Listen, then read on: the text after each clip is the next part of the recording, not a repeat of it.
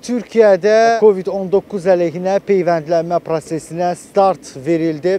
Hazırda Kartal bölgəsində olan dövlət xəstəxanalarından birindəyik və bax bu cür yaradılmış aşı uygulama mərkəzində, yəni peyvəndləmə mərkəzində COVID-19 əleyhinə peyvəndlər istifadə edilir. İlk növbədə isə həkimlər, yəni tibb işçiləri peyvəndlənəcək. Artıq peyvənd olunan səhiyyə işçilərinin sayı 100 mini keçib.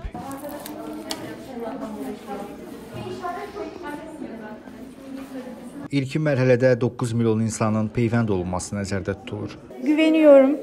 Etkinliği kanıtlanmıştır, gerekli testler yapılmıştır. E, bu kadar çok salgının olduğu bir yerde ülkemiz Allah dev- devletimize zeval vermesin. E, böyle bir şey getirdi ülkemize. İnanıyoruz, bakanımız da yaptırdı. E, onu da gördük, bekliyorduk zaten. İnanarak geldim. Gördüğünüz gibi ilk günler, ilk saatler inanıyorum yani. Test ya- yapıldı tabii ki. Testlerimiz yapıldı.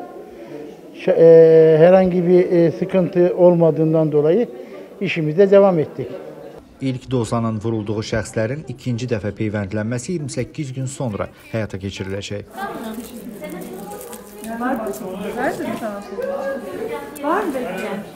Ə, İndi olduğum mərkəz xəstəxana isə Lütfi Qırdar adına tədris araşdırma xəstəxanasıdır ki, burada da vaksinasiya mərkəzi yaradılıb və ə, 20-dən çox otaq var. Bu otaqlarda ə, müəyyən qaydalara riayət edilmək şərti ilə bu proses həyata keçirilir. Hazırda məndən arxada gördüyünüz şəxs də özü də həkimdir. Hazırda ə, peyvənd hazırlanır. Yəni ümumilikdə peyvəndləməyə ə, hazırlıq prosesi gedir. Ə, Peyvəndimiz bax budur. Ə, Çin istehsalı olan Coronavac peyvəndi.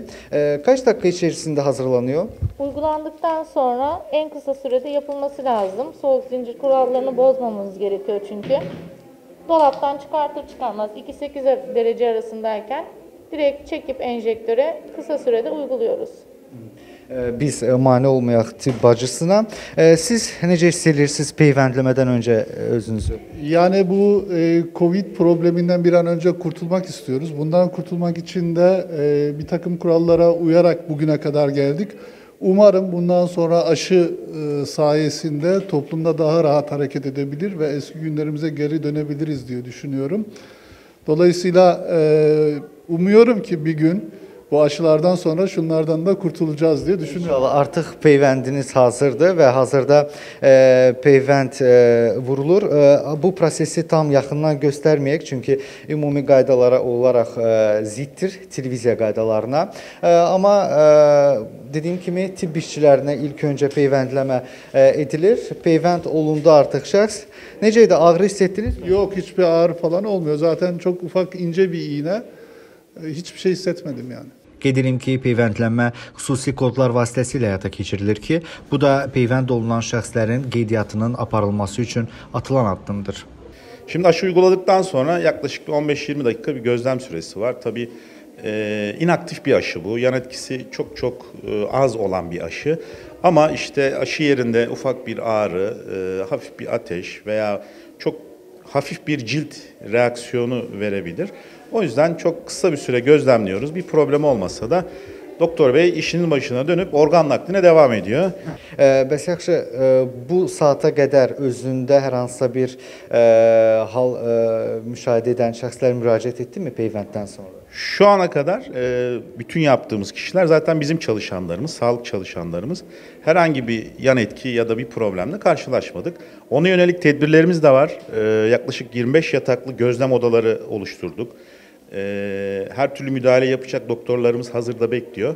Ama e, muhtemelen böyle bir ihtiyaç duymayacağız diye tahmin ediyorum.